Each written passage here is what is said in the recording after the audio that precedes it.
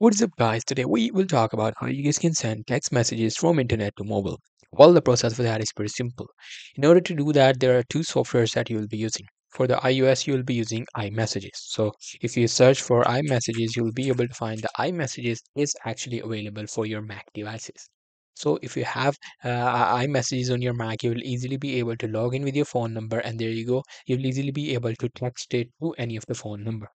However, if you uh, does not have iOS and you have an Android device here, you have to search for Google Messages. Now, searching for Google Messages will bring up these website. You just have to you know go to Google Messages for web. You'll be able to find all the details right here. Now here you just have to scan the QR code and follow these instructions. Once you do that, once your Google Messages is linked to your Google Messages, you will easily be able to use Google Messages to send text messages in the phones without having to actually touch your phone. So that's pretty much it. That's how I'll be able to do it. Hope you guys find this very helpful.